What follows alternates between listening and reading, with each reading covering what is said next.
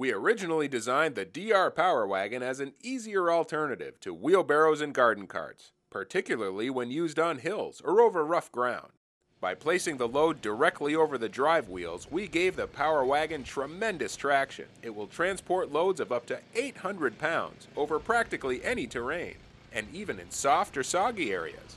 Although it was originally designed for firewood, thousands of customers have told us how useful the Power Wagon is as a work saving tool for landscaping, building projects, caring for animals, gardening, you name it.